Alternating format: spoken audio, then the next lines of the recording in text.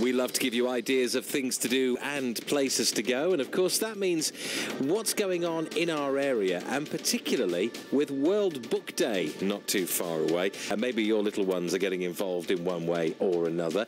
Uh, If they are, it is a wonderful day. And it's a great way. We've got Julian Clary coming up on the show very soon to talk about that. Of course, uh, quite a prolific author these days, as well as an entertainer.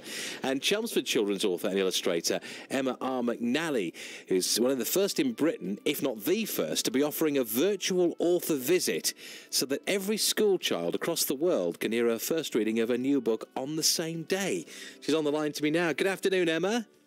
Hello, how are you? I am very well. What a, fantastic idea. What made you come up with this in the first place? Uh, well, I'm all about helping children to develop a love of reading of books because I really do think that if you can have that love of reading, that lasts your lifetime and really helps out open up opportunities for children's future.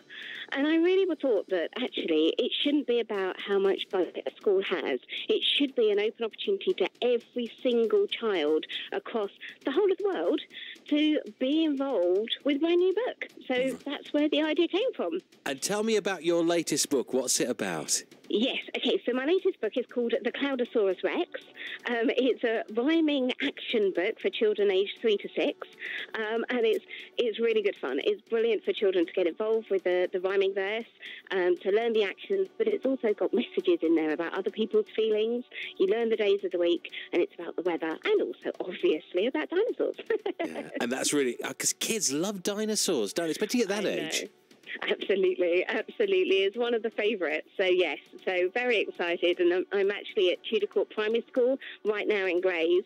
Um, I'm standing just outside their, their building, just about to go in where 240 children are sitting waiting um, to record the, um, the session, which is going to be available on YouTube on World Book Day.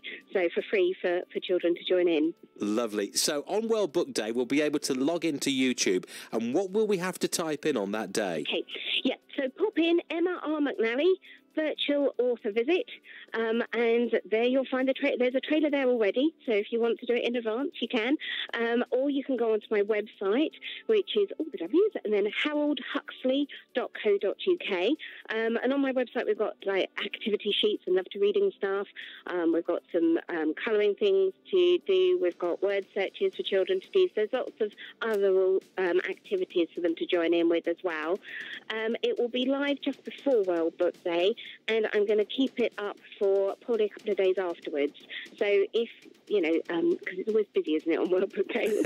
Everybody's on. doing stuff, yeah. Exactly. So if um, other schools want to get involved or children at home want to get involved, but they know that they're a bit busy on that Thursday, it will be there for Friday and the weekend, so they can join in then as well. How wonderful. Well, I wish you all the very best with it. It sounds absolutely terrific. And you must come on the show at some stage and we'll have a good old natter, bring a few of the books in. That would be fantastic. I would Lovely. love to. I would Well, love to. Emma, Thank you so enjoy. and I must admit, having 250 children around you, they're a good audience for your book, aren't they? Let's be perfect. Yeah, absolutely. And you know what? They're the honest, the most honest people. So, Yeah. and you always know you've written a good book when, as soon as you finish, they go again, again, and that's how I can how, how I can tell whether I've got a good book. So, yeah, definitely. A pleasure, Emma. Thank you so much for your time. Emma R. McNally there, the Chelmsford children's author, who is recording that for World Book Day right now. She's in Grays at this moment with 250 children, and you'll be able to look out for her on YouTube on World Book Day. No doubt we'll get her in on the show as well, talking more about that. Something a little